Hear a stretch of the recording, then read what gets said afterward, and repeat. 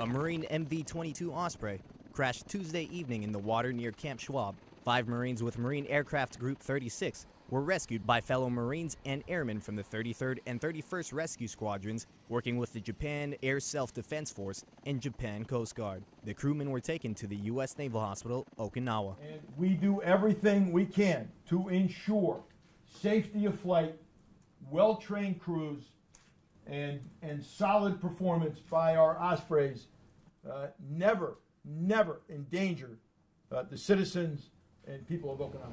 Joint readiness and training in Okinawa increases safety and effectiveness in real-world scenarios. Typically, we train for worst-case scenarios. We train to zero illum worst weather case scenarios for personal recovery missions.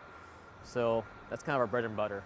Osprey flight operations on Okinawa will resume when Lieutenant General Nicholson, the three Marine Expeditionary Force commanding general, is satisfied with a thorough review of the safety and flight procedures.